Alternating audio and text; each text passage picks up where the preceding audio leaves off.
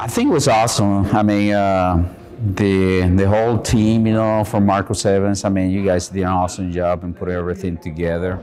Everything was really well prepared. Um, the level of professionalism it was awesome. Uh, I got you know a lot of good things to talk about. You know, the, the whole team. Uh, and also pretty much I mean the participants or the speakers you know for the summit I mean they were awesome too. They bring a lot of knowledge and expertise that I was able to kind of learn from them too as well. So it was awesome man. I had a great time over here with the whole teams you know so I really appreciate you guys inviting me into this